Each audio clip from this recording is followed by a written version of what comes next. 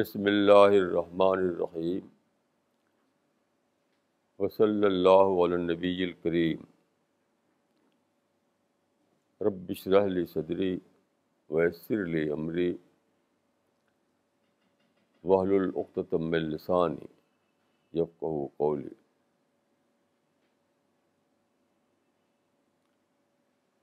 آج کا جو ٹاپک ہے وہ ہے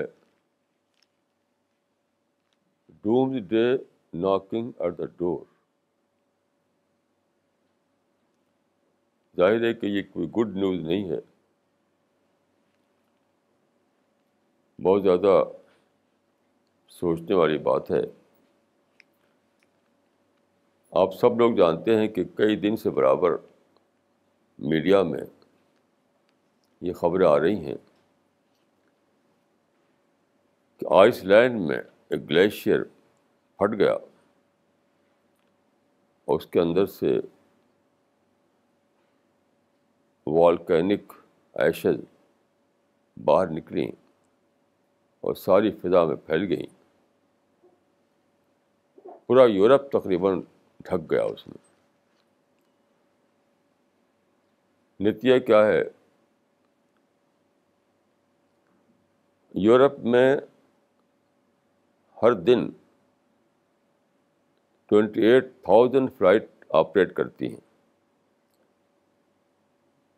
پیرس سے، لندن سے اور بڑے بڑے شہروں سے۔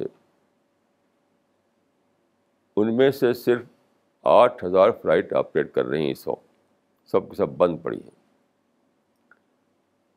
اس کی وجہ سے جہاز کی کمپنیوں کو two hundred million dollar per day کا نقصان ہو رہا ہے۔ یہ تو صرف ایک بات ہے۔ ساری زندگی وہاں پیرالائز ہو رہی ہے۔ بزنس ٹھپ ہو رہا ہے۔ ٹورزم ختم ہو رہا ہے۔ یہ بات وہاں ہو رہی ہے جہاں جو ماڈرن ڈیولپمنٹ کا جو سینٹر سمجھاتا تھا۔ ایک بار میں جہاز میں سفر کر رہا تھا۔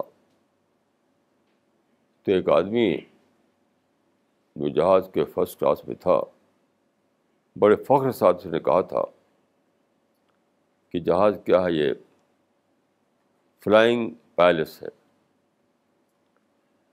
فلائنگ پیلس مطلب ہماری ڈیولپمنٹ ہماری ترقی نے ہم کو یہاں تک پہنچایا ہے کہ ہم اڑتے ہوئے محلوں میں سفر کریں۔ فلائنگ پیلس آج فلائنگ پیلس سب گراؤنڈ کر دیے گئے کیونکہ جو راک اڑ رہی ہے، وہ راک بہت ہی ڈینجرس ہے جہاز کے لیے۔ ایک تو ویزیبلٹی نہیں ہے اوپر، اس کے علاوہ اس میں وہ راک خالی دھواں نہیں ہے۔ اس میں بہت سارے چیزیں ملی ہوئی ہیں، جیسے شیشہ ہے اور دوسری چیزیں۔ تو ڈر ہے کہ انجن میں وہ جا کر کے انجن کو پیرالائز کر دیں گی۔ ایئرپورٹوں پر بھیڑ کی بھیڑ لگی ہوئی ہے کیونکہ وہ جا نہیں پا رہے ہیں۔ یہ سادہ بات نہیں ہے۔ دیکھیے اس کی پیشین گوئی، اس کی پرڈکشن قرآن میں بھی تھی اور حدیث میں بھی۔ اس کے لیے جو ورڈ آیا ہے وہ دخان. دخان. دخان مانے دھواں. یہی تو دھواں ہے. قرآن میں اور حدیث میں ہے کہ قیامت کے قریب ایک دھواں نکلے گا، ایک دخان، جو ساری فضا کو چھا جائے گا.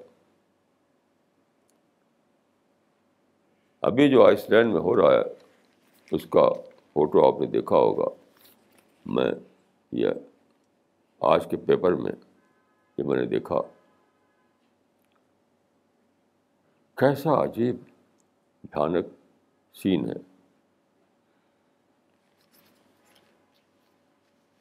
جہاں تک میری اپنی سمجھ ہے۔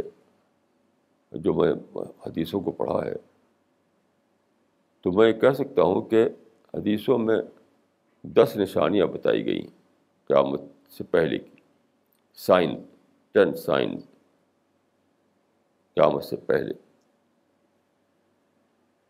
اس میں نمبر ایک، دو، تین، چار کر کے نہیں بتایا گیا ہے اس کا آڈر لیکن میں یہ سمجھ پایا ہوں کہ سب سے لاسٹ میں جو سائن ہوگا، وہ ہوگا کہ سورج ویسٹ سے نکلے گا ایسٹ میں ڈوبے گا۔ یعنی ایکسس پر جو زمین کا گھومتی ہے وہ بدل جائے گی۔ ادھر کے بجائے ادھر ہو جائے گی۔ آپ جانتے ہیں کہ زمین ایک تو آربٹ پر گھومتی ہے، سورج کے گرد، ایک خود اپنے ایکسس پہ گھومتی ہے۔ ایکسس پہ گھومنا جو ہے، اسی سے رات دن ہوتے ہیں۔ تو اس کا ڈائریکشن بدل جائے گا۔ تو اس کا مطلب یہ ہوگا کہ سورج نکلے گا، اب نکلتا ہے ایسٹ سے، پھر نکلے گا ویسٹ سے۔ لیکن یہ بہت ہی ڈینجرس بات ہے، کیونکہ حدیث سے معلوم ہوتا ہے کہ اس وقت توبہ کا دروازہ بند ہو جائے گا۔ جہاں تک میں نے سمجھا ہے، دخان جو ہے لاسٹ بٹ ون سائن ہے۔ سب سے آخر میں تو سورج اسرافیل ہے۔ اس سے پہلے سورج کا نکلنا مغرب سے اور اس سے پہلے ہے دخان تو دخان جو ہے لاسٹ بٹ ون ہے۔ اس کا معنی ہے کہ جن چیزوں کا انتظار کر رہے ہیں مسلمان۔ وہ سب ہو چکا۔ دجال آ چکا۔ مہدی آ چکا۔ مسیح آ چکا۔ اب اس کے آگے کی بات ہے۔ بہت ہی زیادہ سوچنے والی بات ہے یہ۔ کیونکہ اگلا جو سائن ظاہر ہوگا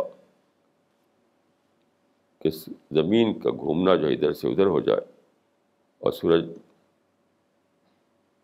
ویسٹ سے نکلنے لگے، پھر تو توبہ کا دروازہ بند ہو جائے گا۔ دیکھیے آج میرے پاس صبح ایک صاحب کو ٹیلی فون آیا۔ اسی بات پر کہ توبہ کا دروازہ بند ہونے کا کیا مطلب ہے؟ تو میں نے کہا کہ توبہ اسی وقت قبول ہوتی ہے جبکہ معاملات غائب میں ہوں، چھپے ہوئے ہوں۔ جب وہ شہود میں آ جائیں یعنی پتہ چل جائے ہر چیز کا، تب تب توبہ کس بات کی؟ تو میں نے کہا، قیامت میں توبہ نہیں ہوگی۔ کیونکہ قیامت میں کہے کہ میں توبہ کرتا ہوں۔ تو قرآن میں ہے علان وقت آسد اب تم توبہ کر رہے ہو۔ جب وقت تھا تب تم نے انکار کیا۔ تو یہ بہت ہی ڈینجرس بات ہے کہ ابھی تک معاملات غائب میں ہیں۔ ابھی توبہ کا دروازہ کھلا ہوا ہے۔ اور میں سمجھتا ہوں کہ دخان جو ہے یہ لاسٹ بٹ ون ہے۔ ایسا لکھا ہوا نہیں ہے، لیکن میرا ایسا قیاس ایسا گیس ہے میرا حدیثوں کو لے کر کہ اس کے بعد جو ہوگا وہ زمین کی گردش بدل جائے گی۔ تو پھر توبہ قبول نہیں ہوگی۔ تو بہت زیادہ ضروری ہے کہ ہم سوچیں۔ ساری سوچوں کو ایک سوچ بنا دیں۔ ساری سوچوں کو ایک سوچ بنا دیں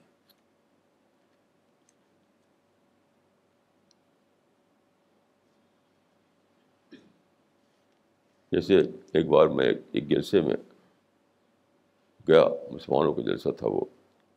سب لوگ طرح طرح کی بولیاں بول رہے تھے۔ طرح طرح کی بولیاں بول رہے تھے۔ ہر آدمی اپنا ایجنڈا پیش کر رہا تھا۔ سب علماء تھے وہ کیونکہ سب کا اپنا الگ ایجنڈا تھا۔ تو میں نے یہی بات کہی تھی کہ بہت وقت بہت جلد وہ وقت آنے والا ہے، جب آپ لوگ اپنا ایجنڈا بھول جائیں گے۔ تو میں نے مثال دی کہ فرض کی کہ یہاں پر ایک اچانک کالا سانپ نکل آئے۔ آپ لوگ اتنا سے بیٹھے ہوئے ہیں، پھر اپنے ایجنڈے پر وہ بول رہے ہیں۔ اور اچانک کالا سانپ نکل آئے تو کیا ہوگا؟ ان کا سب کا ایجنڈا ایک ہو جائے گا۔ سب کا ایجنڈا۔ ایک ہو جائے گا کہ سانپ سے اپنے آپ کو بچاؤ۔ تو اب وہ وقت آ گیا ہے کہ لوگ اپنا ایجنڈا پھینک دیں۔ ڈسٹ بن میں پھینک دیں ڈسٹ بن میں۔ اور جو خدا کا ایجنڈا ہے، اسی ایجنڈے کو لے کر کے زندگی پھر سے شروع کریں۔ زندگی پھر سے شروع کریں۔ وقت time is very short doomsday is knocking at the door time time ہے نہیں ٹائم ہے کہاں اب دیکھیے کہ خدا کا ایجنڈا کیا ہے کل کچھ لوگوں سے بات ہو رہی تھی اسی بات پر کیا ہے خدا کا ایجنڈا جس کو ہم اپنائیں تو میں نے کہا کہ خدا کا ایجنڈا ہے کہ آپ اپنے کو جنت کے لیے تیار کریں۔ بس سنگل پوائنٹ فارمولہ جو ہے وہ یہی ہے۔ جنت کے لیے اپنوں کو تیار کریں، کیا مطلب ہے؟ آج کل دیکھیے، کچھ لوگ تو وہ ہیں جو بھولے ہوئے ہیں۔ ان کے نزدیک نہ جنت ہے، نہ دوزخ ہے، نہ قامت ہے، نہ کچھ ہے۔ وہ ہوا کر رہے ہیں، مگر ہیں، بس میں کچھ سوچنا نہیں ہے۔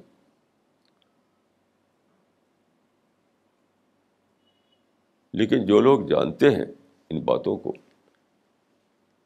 ان کا بھی کیا حال ہے؟ وہ سمجھتے ہیں کہ شفات ہو جائے گی اور ہم شفات کر کے جنت میں چلے جائیں گے۔ کوئی سمجھتا ہے کہ بزرگوں کا دامن ہم تھامے ہوئے ہیں اور بزرگ ہماری جنت میں پہنچا دیں گے۔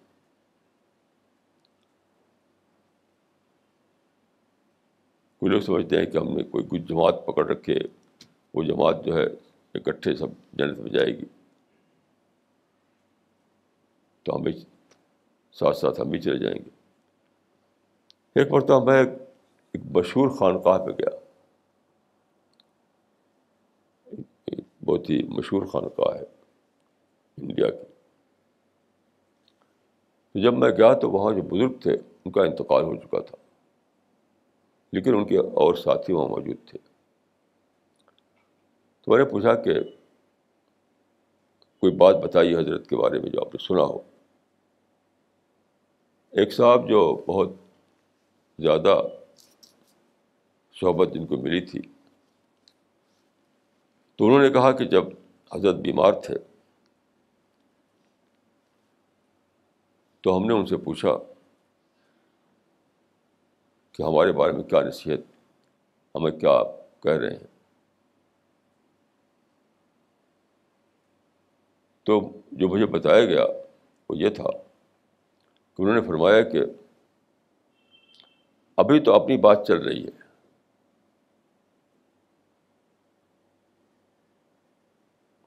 یہ بات میں نے جو سنی تھی، اس کو آپ کے سامنے بتاتا ہوں کہ اپنے ابھی تو اپنا معاملہ چل رہا ہے۔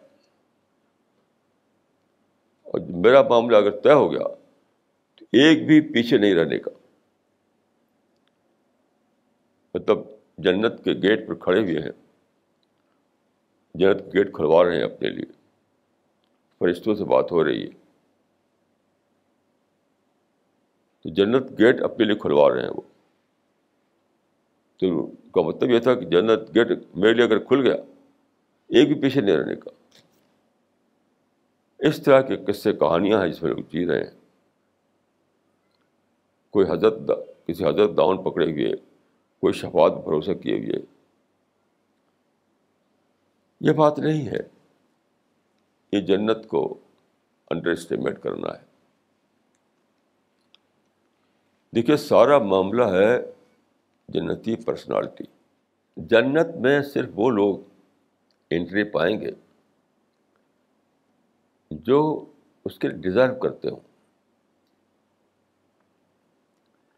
ڈیزرو کرتے ہوں۔ جنت اللہ تعالیٰ نے بنائی ایک بہت ہی ریفائنڈ کالونی وہاں سب کچھ اچھا ہی اچھا ہے۔ یہ ایول فری ہے وہ بالکل وہاں کوئی چیز نہ وہاں نگیٹو تھنکنگ ہے، نہ وہاں ہیٹ ہے، نہ وہاں اینگر ہے، نہ وہاں وائلنس ہے۔ یعنی جتنے بھی ایول کریکٹر ہیں، وہاں پر نہیں۔ ایسی ایک دنیا میں بسانے کے لیے خدا کو انسان درکار ہے۔ تو جو آدمی اس دنیا کی زندگی میں اپنے کو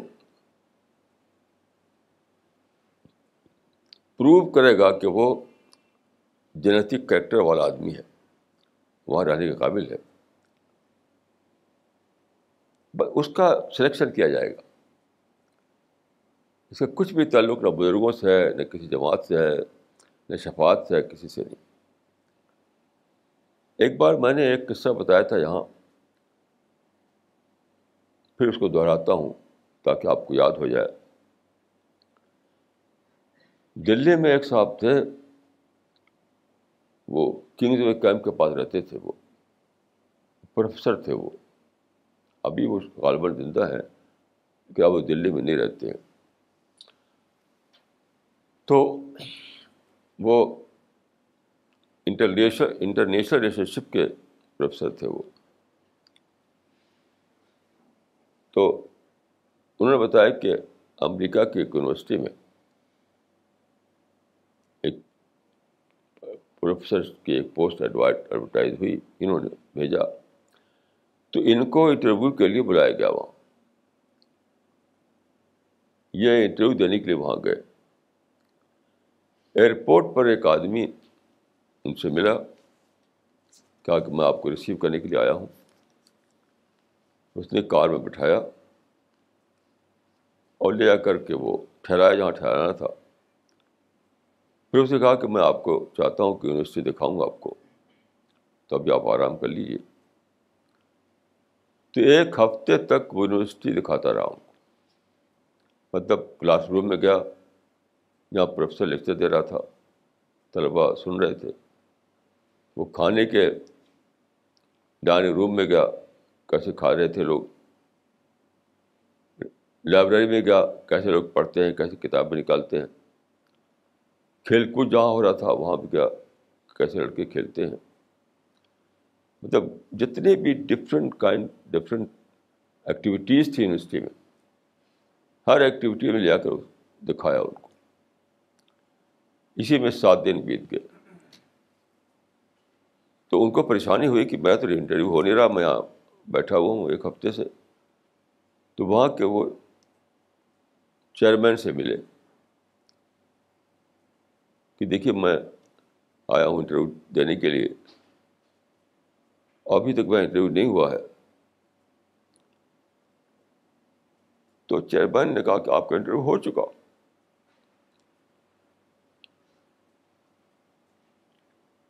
ہم نے سلیکٹ کر لیا ہے۔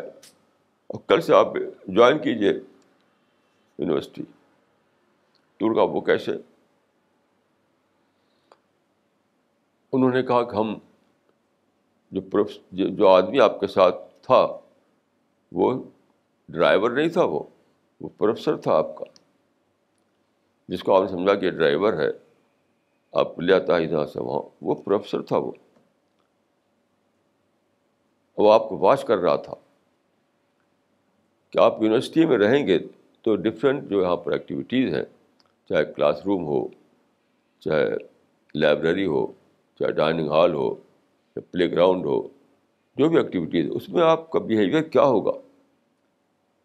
ہمارا جو یونیورسٹی کلچر ہے، اس کے مطابق آپ رہیں گے یا نہیں؟ یہ ہم دیکھ رہے تھے۔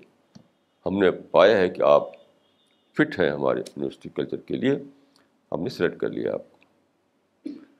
یہ سچا واقعہ ہے۔ میں نے خود پروفیسر صاحب سے سنا تھا یہاں کنگز وے کیمپ میں گھر جا کر کے۔ ڈاکٹر مہیش شرما ایک ہیں، ان کے ساتھ میں گیا تھا۔ تو ایک دم یہی سچویشن ہے، یہی صورت حال ہے۔ ہم اس دنیا میں اس طرح ہے کہ اینجلز ہمیں واچ کر رہے ہیں۔ ہر وقت واچ کر رہے ہیں۔ ہم کیسے بولتے ہیں؟ کیسے سوچتے ہیں؟ کس طرح ریئیکٹ کرتے ہیں؟ کس طرح کھانا کھاتے ہیں؟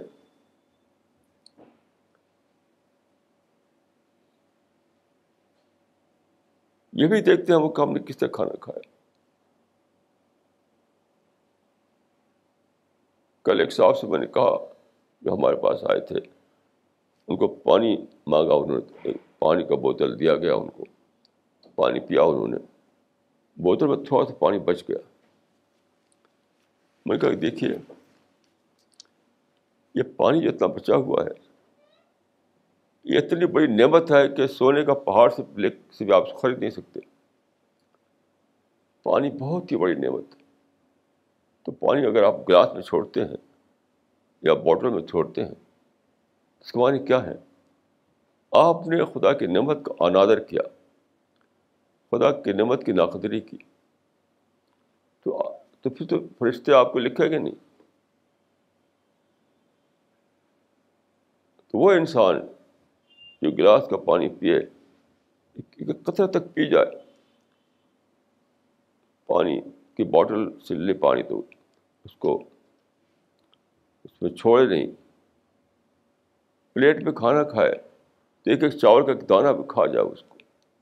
مسئلہ چاول کے دانے کا نہیں ہے، خدا کی نعمت کی ناقدری کا ہے۔ خدا کی نعمت کی ناقدری کا ہے۔ ایسے ایک صاحب سے میں نے کہا، بات کر رہے تھے۔ اور وہ تیز ہو گیا بات چیت میں۔ میں نے کہا کہ دیکھیے، جب آپ بات کرتے ہیں کسی سے، تو فرشتے واچ کر رہے ہیں آپ کا کہ جنت میں آپ کیسے بات کریں گے لوگوں سے۔ جنت میں فری ڈسکشن ہوگا۔ وداؤٹ اینی ریزرویشن خوب کھلے ملیں گے لوگ۔ تو اگر وہاں آپ اس طرح بات کریں کہ آپ کا ایگو بڑک اٹھے؟ آپ کی بات چیت ایگو ایگو کریش بن جائے۔ آپ ریئیکٹ کریں، آپ باتوں کو ٹویسٹ کر کے پیش کریں۔ آپ سچائی کا اکنالج نہ کریں۔ تو جن خدا کے جو رشتے ہیں، ان کے ریکارڈ میں آپ لکھ دیا جائے کہ یہ، کہ وہ یہ آدمی ڈیزرو نہیں کرتا ہے جنت کے لیے۔ اب آپ غور کیجیے کہ اگر آدمی کو یہ یعنی اس پروفیسر کو تو یہ بتایا نہیں گیا تھا کہ تم انڈر واچ ہو۔ تمہارا تم کو واچ کیا جا رہا ہے۔ لیکن یہاں تو بتا دیا گیا ہے۔ یہاں تو بتا دیا گیا ہے کہ ہر وقت فرشتے تمہارے آس پاس ہیں۔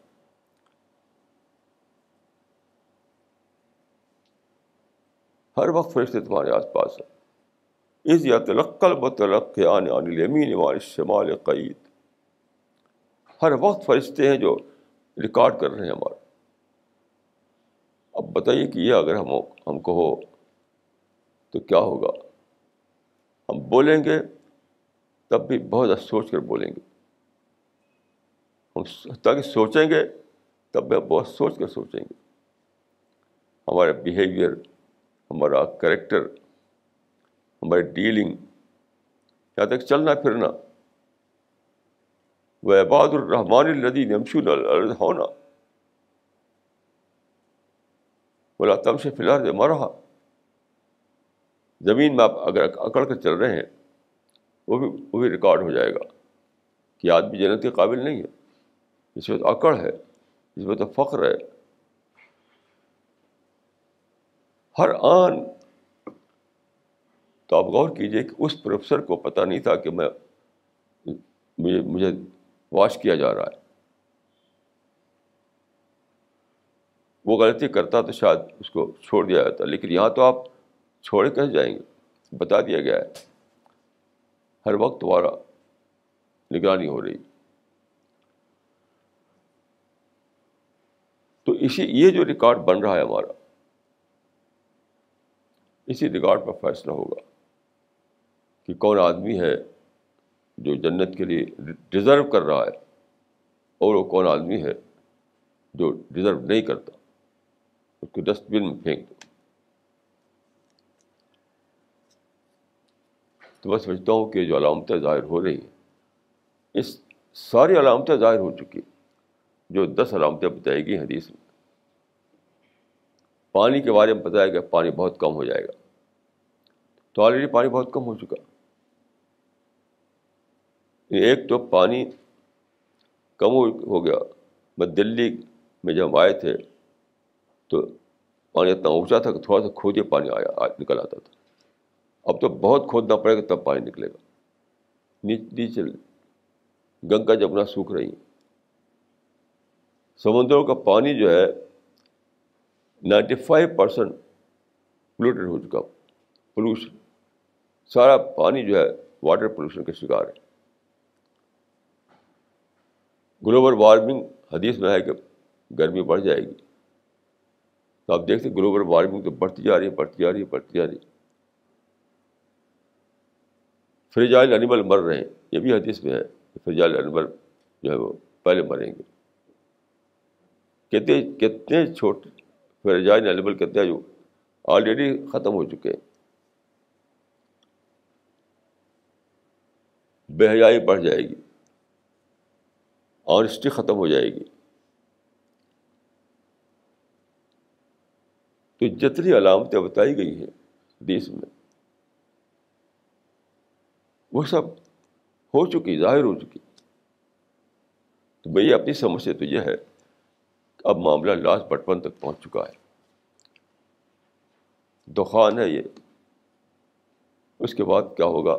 زمین کی کی جو گھوم رہی ہے ایکسس پر وہ الٹا گھومنے لگے گی۔ اور اس کے بعد کیا ہے سورج اسرافیل؟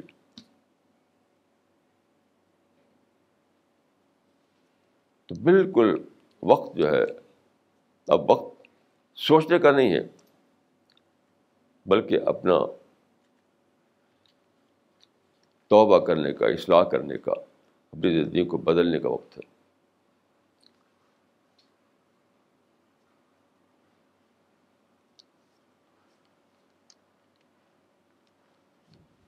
کسی کو اگر شک ہو تو بہت سی کتابیں ہیں جس میں قیامت، علامات قیامت چھپی ہوئی ہے وہ پڑھے ایک تو ہے کہ حدیثوں میں کتاب، حدیث کتابوں میں جو ابواب ہوتے ہیں، اس میں ہوتی ہیں، اس الگ سے کتابیں چھاپ دی گئی ہیں علامات قیامت کے نام سے۔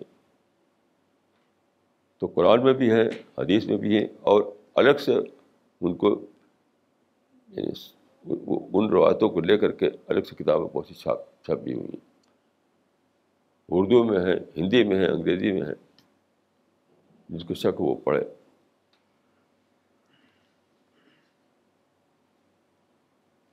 تو جہاں تک میرا اپنا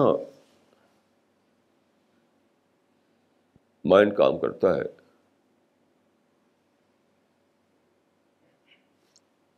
میں سمجھتا ہوں کہ سب کچھ ہو چکا۔ یعنی ہسٹری جو ہے، اب بگننگ آف دا اینڈ کے کے وقت پہنچ چکی ہے۔ اینڈ کی بگننگ ہو چکی ہے۔ یعنی بگننگ آف دا اینڈ کے کنارے ہم کھڑے ہوئے ہیں اس وقت۔ کیونکہ آپ دیکھیے،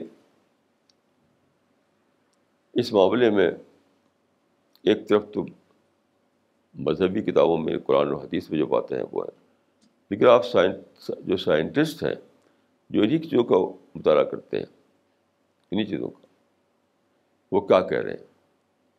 بس بس آئس لینڈ میں جو اس وقت جو دھواں نکل رہا ہے، جو ایرپشن ہوا ہے والکانک ایرپشن تو وہ کہہ رہے ہیں کہ ایک مہینے تک ابھی ریسپائٹ کی کوئی امید نہیں ہے۔ اور بڑھی بڑھ جا سکتا اور بڑھ سکتا ہے۔ اور ساتھ ساتھ ایک اور وال قانون وہاں پر ہے، وہیں پر۔ آئس لینڈ ہی میں۔ وہ بھڑکے گا تو وہ زیادہ پاورفل ہے وہ اس سے بھی زیادہ پاورفل ہے۔ تو یہ تو وہی ہے کہ انل بفر، قرآن مجید ہے کہ انسان چلائے گا، انل بفر۔ اب بھاگ کے جائیں گے تو کہاں جائے کہ ایک وقت آئے گا کہ انسان کہے گا کہ این المفر اب بھاگ کر کہاں جائے؟ آپ کو یہی پتہ ہے کہ جب اسپیس سائنس شروع ہوئی تو بہت کوشش کی انسان نے آس پاس ڈھونڈنے کی، کہیں کوئی دنیا جیسی ایک اور پلانٹ مل جائے۔ کوئی پلانٹ نہیں ملا۔ جو خبریں آتی رہتی ہیں کہ چاند پہ پانی ہے اور مارس پہ پانی ہے، یہ سب بالکل گیس ہے، اسپیکولیشن ہے۔ کچھ بھی نہیں کہیں۔ تو یہی زمین ہے بس۔ تو انسان کہے گا این البفر اب بھاگ کے جائیں تو کہاں جائیں؟ کوئی اور دنیا نہیں جہاں بھاگ کے جا سکے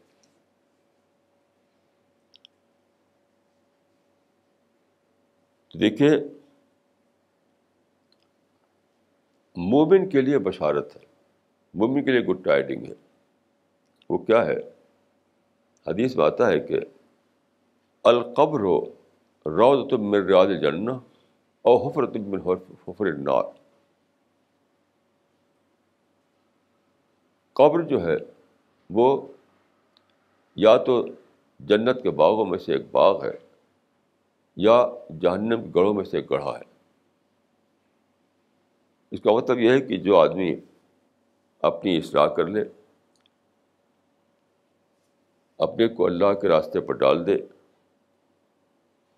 جو اپنے کو اس طرح بدل بدلے کہ وہ جنت کا کے لیے ڈیزرو کرنے لگے، تو موت کے بعد فوراً ہی اس کی جنت شروع ہو جائے گی۔ اور قبر و روز تم میرے راز جنت قبر کے معنی نہیں کہ وہ اس گڑھا جو ہے اسی میں جنت رکھی ہوئی ہے، یہ مطلب نہیں ہے۔ اس کا مطلب ہے موت کے بعد پوسٹ ڈیتھ پیریڈ جو ہے اس میں۔ مرتے ہی یا تو آدمی جنت پہنچ جائے گا یا آدمی اس دوسرے حال میں پہنچے گا، اس کو جہنم کہا گیا ہے۔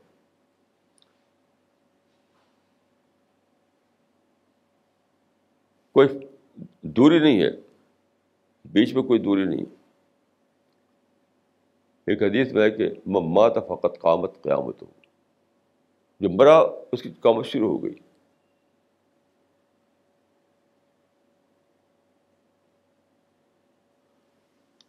تو ان تو جو جو سچے اہل ایمان ہیں، ان کے لیے خوشخبری ہے۔ آج صبح میں ایک آیت پڑھ رہا تھا، تو ایک عجیب بات سمجھ آئی۔ میں چاہتا ہوں کہ اس کو شیئر کروں۔ سورہ انفال کی ایک آیت ہے کہ اللہ کسی کو نعمت دے تو اس نعمت کو پھر وہ چھینتا نہیں، بدلتا نہیں۔ یہ سورہ انفال میں یہ آیت ہے۔ ظال کا بین اللہ علامہ کو مغیر نعمت انوحا ظال کا بین اللہ لمبے کو مغیر نعمت انوحا یہ آیت بڑی عجیب آیت ہے۔ اور اس کا ایک پہلو جو ہے واجب میری سمجھ میں آیا تفسیروں میں تو نہیں موجود ہے وہ۔ آج میری سمجھ میں آیا کہ اللہ اس میں اللہ اپنی سنت بیان کر رہا ہے، سنت۔ کہ دی ہوئی نعمت کو خدا چھینتا نہیں۔ جو دے دے اللہ تعالی نعمت کو۔ تو دیکھیے، اس کو عام طور پر لوگ سمجھتے ہیں اس دنیا کے معاملے میں۔ لیکن قرآن کے مطابق، اسلام کے مطابق زندگی ایک کنٹینیشن ہے، ایک تسلسل ہے، برابر چلی جا رہی ہے۔ یہ تو ہمارا عقیدہ ہے کہ لائف جو ہے ایک کنٹینویشن ہے، دنیا سے آخر تک چلی جا رہی ہے ایٹرنیٹی ہے۔ اس آیت کا مطلب میں سمجھ یہ آیا کہ یہ جو نعمت دنیا میں آپ کو ملی ہوئی ہے، یہ سب نعمت ہی نعمت ہے۔ یہ زمین، یہ سورج، یہ ہوا، یہ آکسیجن، زمین سے فصلوں کا اگنا، پھل، پانی، ساری چیزیں، لائف سپورٹ سسٹم، یہ اللہ تعالیٰ نعمتیں دی جو ان نعمتوں کو واقعتاً اعتراف کرے، اس کو اکنالج کرے تو اس کا مطلب کیا ہوگا؟ پھر وہ ڈسکنٹینیو نہیں کی جائیں گی۔ بہت عجیب بات یہ ہے اس آیت میں اس کو لوگ لیتے ہیں عام طور پر اس دنیا کے معاملے میں۔ نہیں، کیوں لیتے ہیں آپ دنیا کے معاملے جب لائف ایک کنٹینیوڈ فنامنا ہے، تو اس کو آپ پورے معنی میں لیجیے آیت یہ بتاتی ہے کہ اللہ تعالیٰ کی سنت یہ ہے کہ اللہ تعالیٰ جب ایک نعمت کسی کو دے دے تو اس کو نہیں چھینتے ہیں، جب تک کہ وہ اس کے لیے اپنے آپ کو، جب تک وہ ڈیزرو کر رہی ہے اس اس کے لیے۔ تو نہ چھیننے کا عمل اس دنیا تک لمیٹڈ نہیں ہے آخر تک چلا جا رہا ہے۔ اس کے معنی ہے کہ ایک ایک ایک ہی، ایک بہت ہی یعنی ویل نون پرائز جنت کی، اس آیت سے معلوم ہوتی ہے۔ یعنی کیا؟ کہ آپ اللہ تعالیٰ کی نعمتیں جو آپ کو ملی ہیں دنیا میں، ایک یہ وجود ایک نعمت ہے۔ میں بول رہا ہوں، یہ ایک نعمت ہے۔ میں دیکھ رہا ہوں، یہ ایک نعمت ہے۔ آج صبح بیٹھا ہوا تھا اپنے گھر میں، جو کارنر ہے، پارک دکھائی دیتا ہے۔ تو میں نے اپنی آنکھ بند کر لی۔ اچانک سب ادھیرا ہو گیا۔ پھر نہ پیڑ دکھائی دیتا تھا، نہ سبزہ دکھائی دیتا تھا، نہ گھر دکھائی دیتا تھا، کچھ بھی، سب کچھ بند، سب ادھیرا یہ نعمت کتنی بڑی نعمت ہے کہ ہم دیکھتے ہیں۔ کتنی بڑی نعمت ہے کہ ہم، ہمارا وجود ہے، ہم کھانا کھاتے ہیں تو ہضم ہو جاتا ہے۔ ہم دیکھتے ہیں، ہم سنتے ہیں، ہم سوچتے ہیں، ہم چلتے ہیں۔ یعنی یہ انوکھی چیزیں جو کسی گلیکسی کو نہیں ملی ہوئی ہیں۔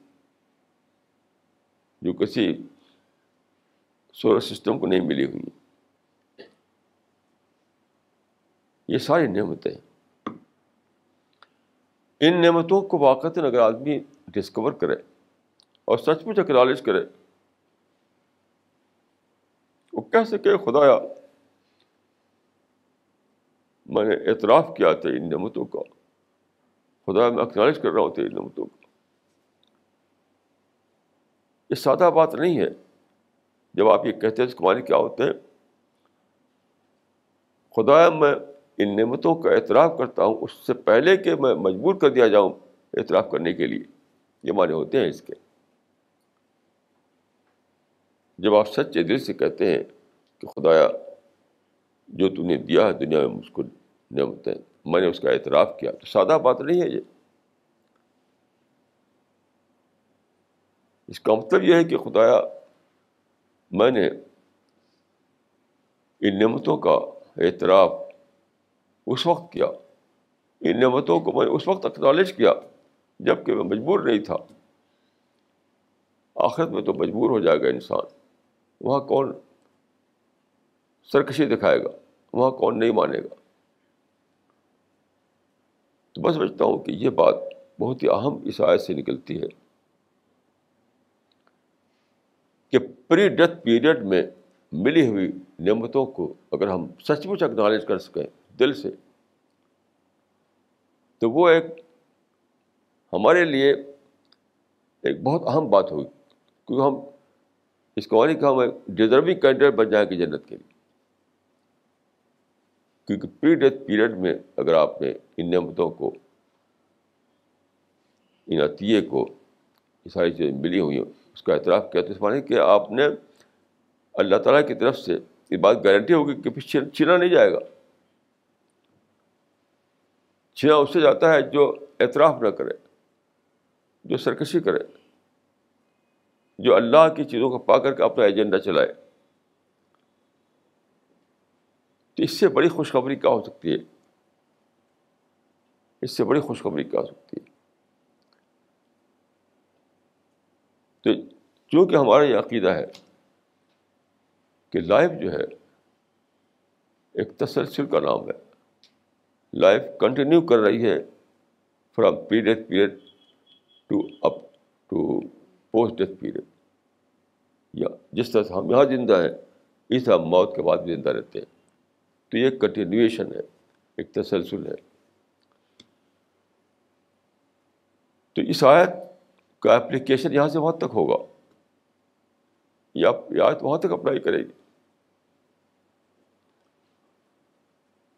اس کا مطلب یہ نہیں لیا جا سکتا کہ اس دنیا میں جو نعمتیں دی اللہ تعالیٰ نے، اس کو اکنالج کرو تو اس دنیا میں وہ نہیں چھینیں گی۔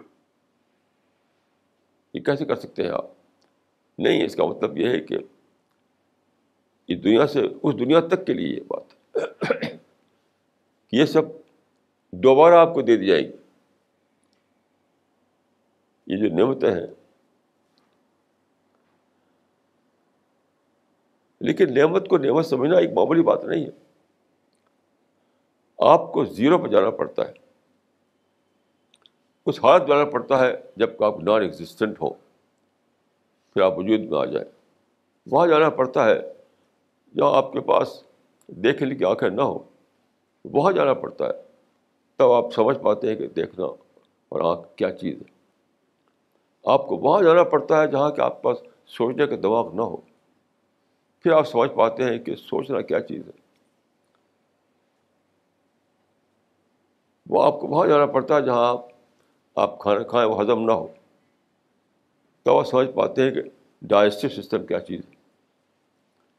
آپ کو وہاں جانا پڑتا ہے جہاں آپ کی میموری ختم ہو گئی ہو۔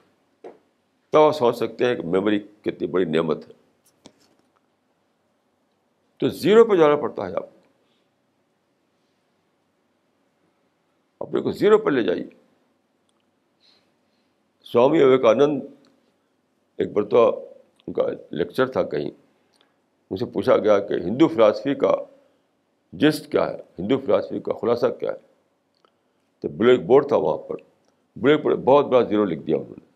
زیرو تو انہوں نے کسی اور مفہوم میں یہ بات کہی تھی، لیکن میں اس کو اپنے سینس میں لیتا ہوں کہ اپنے کو زیرو پر لے جائیے۔ تب آپ کو پتہ چلے گا کہ کیا نعمتیں ہیں۔ ایک مشہور مقولہ ہے کہ قدر نعمت بعد زوال نعمت۔ قدر نعمت بعد زوال نعمت یعنی نعمت جب چھن جاتی ہے تب پہنچتا ہے کہ نعمت کتنی بڑی چیز تھی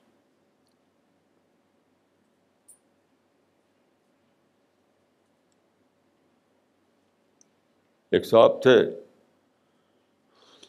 میرٹھ میں ان کو کینسر ہو گیا تو پانی نہیں پی سکتے تھے مشکل سے وہ آدھا گلاس پانی پیتے بہت تکلیف کے ساتھ پورا نہیں پی پاتے تو لوگ ان کے پاس جاتے بلی کے لیے کہتے کہ دیکھو، تم کو کتنی بڑی نعمت ملی ہو تم پانی پی سکتے ہو۔ میں پانی نہیں پی سکتا۔ روٹی اٹھاتے تھے، وہ بہت ہی مصیبت سے آتی روٹی کھا پاتے تھے۔ چھوڑ دیتے تھے۔ کہ دیکھو،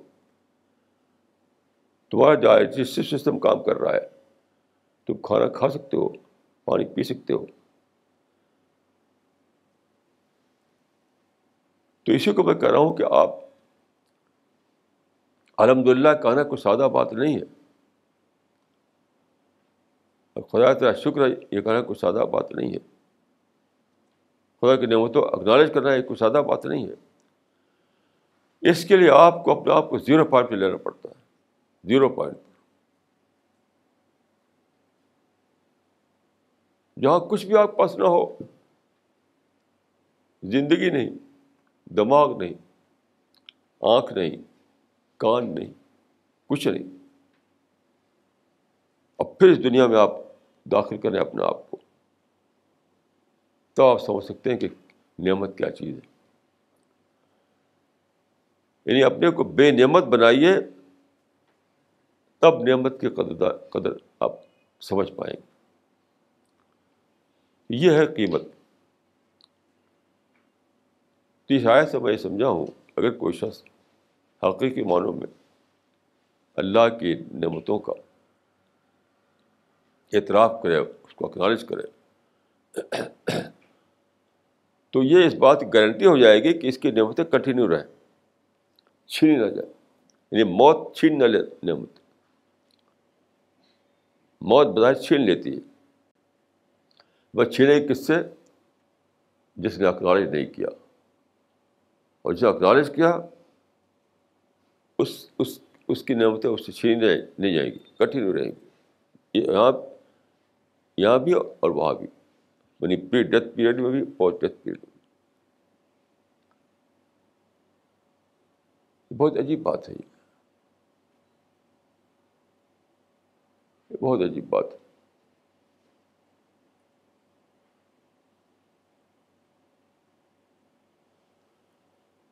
ایک شخص دلی میں ایک صاحب ہیں جو اس وقت کروڑپتی ہیں، وہ بہت بڑا گھر ہے، بہت بڑا بزنس ہے۔ تو ہمارے کچھ ساتھی ان سے ملنے گئے۔ تو ساتھیوں کو وہ اپنی بڑی جو مکان تھا وہاں پہ ملے تھے وہ، تو ان کا کہ میں آپ کو ایک اور چیز دکھانا چاہتا ہوں۔ تو ان کو ساتھیوں کو لے گئے وہ، ایک اور جگہ۔ ایک بہت ہی سلم ایریا چھوٹا سا کوٹری، دیکھ میں یہاں پیدا ہوا تھا۔ تو کہا کہ میں اس کوٹری کو توڑتا نہیں۔ کبھی کبھی میں آتا ہوں اور یاد کرنے کے لیے کہ میں یہاں تھا۔ اگر میں اس کوٹری کو چھوڑ دوں، اس کو توڑ دوں، اسے ختم کر دوں، یہاں بھی ایک گھر بنا لوں، تو میری ہسٹری ختم ہو جائے گی۔ تو وہ گویا کہ اپنی کچھ زیرو پوائنٹ پہ واپس لے آتے تھے، تاکہ وہ سمجھ سکیں کہ یہ جو ملا ہے آج ان کو، وہ کیا چیز ہے؟ تو آپ میں سے جو شخص یہ چاہتا ہو کہ اللہ کے ہاں وہ لکھا جائے ان انسانوں میں جنہوں نے پری ڈیتھ پیریڈ میں اللہ کی نعمتوں کو اکنالج کیا تھا، اس کو چاہیے کہ اپنے کو زیرو زیرو پوائنٹ پر لے جائے۔ ہر چیز سے اپنے کو محروم کر کے دیکھے، تب وہ سمجھ پائے گا۔ ایک بات میں یہاں یہ بھی عرض کرنا چاہتا ہوں کہ نعمت کیا چیز ہے؟ نعمت کا مطلب یہ ہے کہ جو مجھے اپنے اپنے لیے ملا ہوا یعنی ایز اے پرسن مجھے ملا ہوا تو وہ نعمت ہے۔ نہیں، پوری انسانیت کے لیے نعمت پوری انسانیت کے لیے۔ مثلاً فرض کیے کہ میں کبھی ہوائی جہاز میں نہیں بیٹھا، لیکن جب میں دیکھوں ہوائی جہاز میں اڑتے ہوئے، تو میں اپنے آپ کو انسانیت کا حصہ سمجھ لوں۔ وہ جو اڑ رہا ہے، وہ بھی انسان ہے، میں بھی انسان ہوں۔ تو میں یہ سوچنے لگوں کہ اللہ تعالیٰ نے انسان کے لیے کتنے بڑی نعمت دی کہ اڑ رہا ہے ہوا میں۔ پہلے زمانے میں اڑن کھٹولا کا کانسیپٹ تھا۔ اڑن کھٹولا ایک فرضی چیز تھی۔ یعنی یہ ایک فرضی ڈریم تھا کہ انسان ہوا میں اڑے فکشن ہوا کرتا تھا۔ آج واقعہ بن گیا۔ تو آپ اپنے کو اس انسان سے جوڑیں۔ پوری انسانی کے ساتھ جوڑیں کہ دیکھو، خدا نے انسان کو کیسی نعمتیں دی دی۔ کہ زمین میں دوڑ رہا ہے، سمندر میں تیر رہا ہے، ہوا میں اڑ رہا ہے۔ اگر آپ صرف اپنے ذات کو ملی ہوئی چیزوں کو دیکھیں گے، تو چھوٹا شکر کر پائیں گے آپ۔ اور جب پوری انسانیت سے جوڑ کر اپنے آپ دیکھیں گے، تو آپ بڑا شکر کر پائیں گے۔ یہ سارے نعمتیں آپ کے زندگی حصہ بن جائیں گی کہ خدا نے انسان پر ترقیوں کے دروازے کھولے۔ خدا نے تہذیب کو پیدا کیا۔ خدا نے معدنیات کو مشین میں تبدیل کیا۔ جو سب چیز جو پوری انسانیت کو ملی ہوئی ہے، اس میں آپ حصے دار بن جائیں گے۔ تب آپ بڑا شکر کر پائیں گے۔ یہ تو پھر بہت چھوٹا شکر کر سکیں گے۔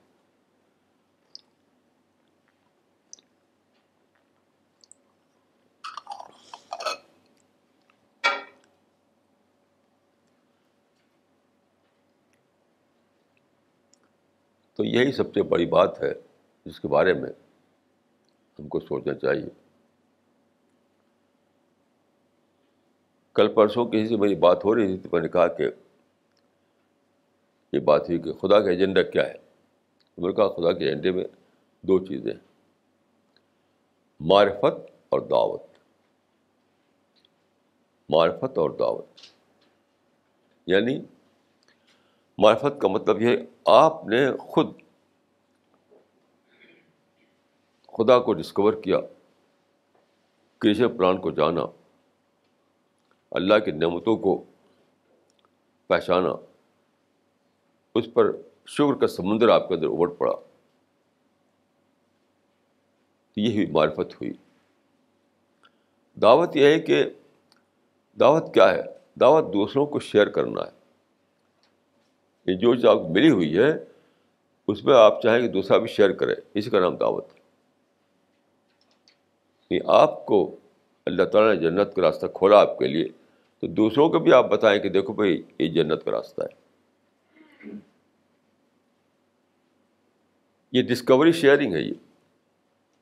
جیسے ڈیموکریسی کہا جاتا ہے کہ ڈیموکریسی پاور شیئرنگ کا نام ہے۔ پاور شیئرنگ ایسی دعوت جو ہے ڈسکوری شیئرنگ کا نام ہے۔ جو چیز آپ نے ڈسکور کی ہے، اس کو دوسرے انسانوں کو بتاتے ہیں آپ۔ معرفت شیئرنگ کہہ سکتے ہیں۔ معرفت شیئرنگ ڈسکوری شیئرنگ اسی کا نام دعوت۔ دعوت خالی اناؤنسمنٹ کا نام نہیں ہے۔ خود آپ ہی نہ پایا ہو تو آپ دنیا کو کیا بتائیں گے؟ تو اصل چیز میں نے کہا کہ اصل چیز معرفت ہے۔ یہ اللہ کو ڈسکور کرنا۔ اللہ کی باتوں کو ڈسکور کرنا۔ یہ ڈسکوری کو جب دوسروں کو بتانا چاہیں آپ، تو اسی کا نام دعوت بن جاتا ہے۔ تو گویا کہ دعوت نام ہے ڈسکوری شیئرنگ کا۔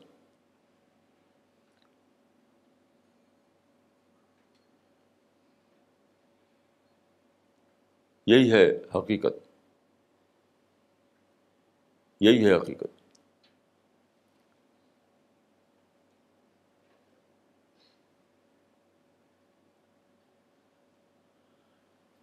تو دیکھیے، بہت زیادہ سوچنے کی ضرورت ہے۔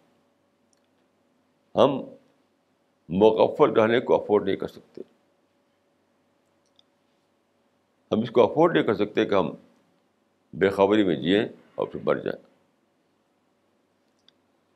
میرے ابھی کئی ساتھی یہ بے جاننے والے جو مجھ سے چھوٹے تھے، ابھی اسی مہینے میں مر گئے وہ۔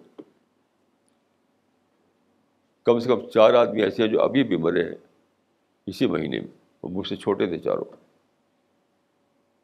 میں روزانہ سوچتا ہوں کہ وہ انسان کل یہاں تھا، آج وہ کسی اور دنیا میں ہوگا۔ کل وہ اس پلانٹ ارتھ پہ ہمارے ساتھ تھا۔ آج پتہ نہیں وہ کہاں ہوگا۔ کس حال میں ہوگا؟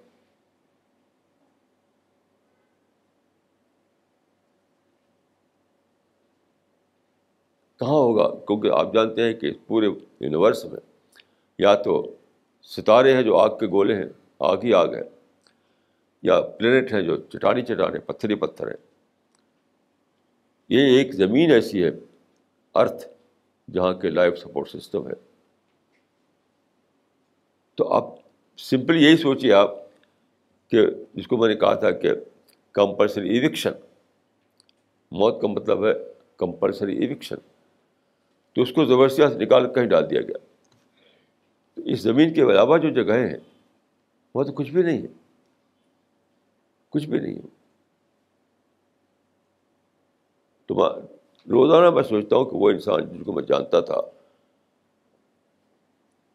مجھ سے چھوٹے بھی تھے وہ اب وہ ہمارے ساتھ نہیں ہے۔ مطلب اس دنیا میں نہیں ہے وہ۔ اب کہاں ہے پتہ نہیں وہ۔ تو یہ انجام ہمیں ہر شخص کا ہونے والا ہے۔ تو اس سے پہلے کہ ہم ہماری باری آ جائے، کیونکہ باری تو دیکھا جائے کیا نہیں آ نہیں کوئی ایسا آدمی نہیں اس کی باری نہ آئے۔ باری تو ہر ایک کی آئے گی۔ اس سے پہلے کہ ہماری باری آ جائے۔ ہم اپنے آپ کو ایسا بنا لیں کہ فرشتوں کے ریکارڈ میں آ جائے کہ آدمی جنت کو ڈیزرو کرتا ہے۔ جنت کے لیے یہ ڈیزرونگ کینڈیڈیٹ ہے یہی ایک ہی کنسرن ہے، کوئی اور دوسرا کنسرن نہیں۔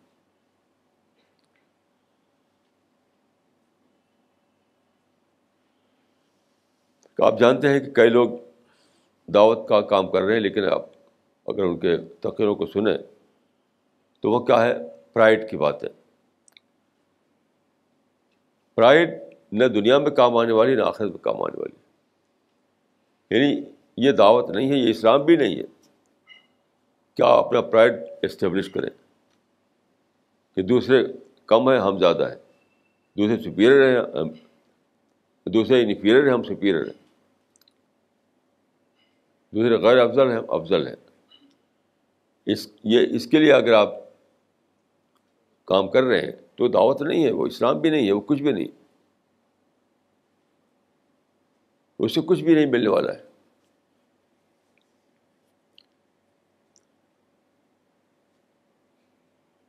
اپنی اپنی سپیورٹی کو اسٹیبلش کرنا،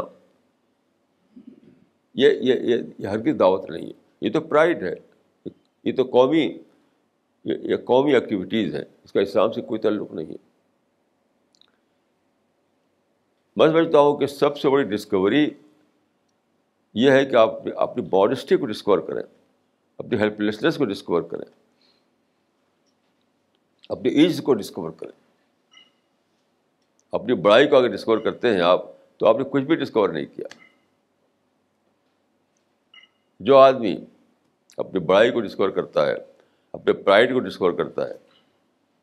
وہ کچھ بھی نہیں، وہ کچھ بھی نہیں پا سکا اس دنیا میں۔ ڈسکوری کے قابل جو چیز ہے، وہ ایک آپ نے ایجز کو ڈسکور کریں، اپنے ہیلپ لیسنس کو ڈسکور کریں اپنی ماڈسٹی کو ڈسکور کریں۔ کیونکہ جنت کا راستہ جو ہے، وہ ماڈسٹی کے روڈ سے گزرتا ہے۔ جنت کا راستہ سرکشی کے روڈ سے نہیں گزرتا۔ پرائڈ کے روڈ سے نہیں گزرتا۔ اس میں ماڈسٹی چاہیے ایز چاہیے ہیلپ لیسنس کا احساس چاہیے۔ یعنی اللہ کو بڑا مان کر اپنے کو چھوٹا بنانے کا احساس چاہیے۔ یہی وہ راستہ اس سے آدمی پہنچتا ہے اللہ تعالیٰ تک۔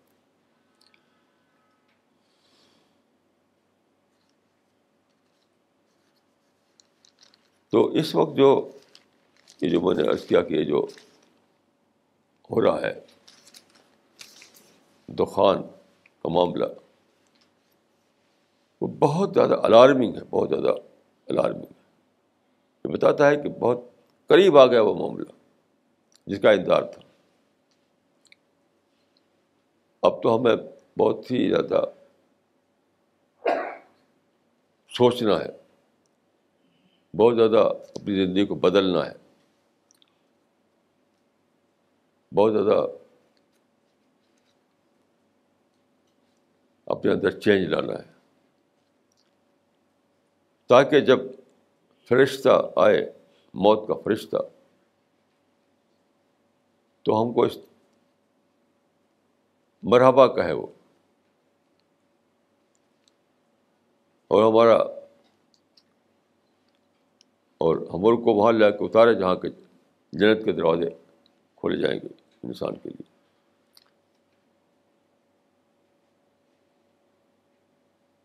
تو بہرحال میں اپنے لیے اور آپ سب کے لیے دعا کرتا ہوں کہ اللہ تعالیٰ ہمیں اس نزاکت کو سمجھنے کی توفیق دے۔ ہم اپنی اصلاح کر لیں۔ تاکہ ہم اللہ تعالیٰ کی رحمتوں کے مستحق قرار پائیں۔ اقول قولی حاضہ وصطفر اللہ علیہ ولکم اجمعین۔